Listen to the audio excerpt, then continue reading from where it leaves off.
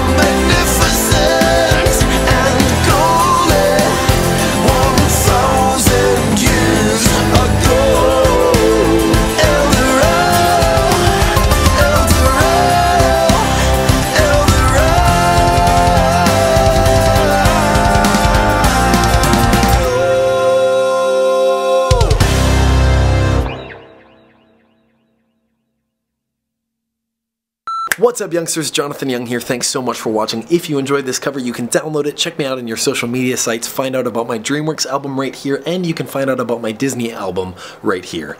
Um, I'm losing my voice. I've been doing a lot of recording lately, and I really need to clean my camera lens. That said, uh, this cover was a bit of an experiment. I actually recorded all of the instruments except for the acoustic guitar and the introduction um, digitally. So I actually didn't play or record any real instruments at all. Instead I used MIDI data and how that works is rather than paying a trumpet player to come into my studio and record the trumpet parts, uh, and that's really bad for my upload schedule and my wallet, uh, instead I can just play the trumpet part on my keyboard or click the notes in and it sounds pretty good if you have the right software. I did this to show you guys what it's possible to do without actually playing any instruments because maybe some of you want to get into arranging and uh, music production but you don't have the time or the resources uh, to learn the technique of how to play the guitar or something like that. Most people associate uh, digital music arranging and composing with electronic music but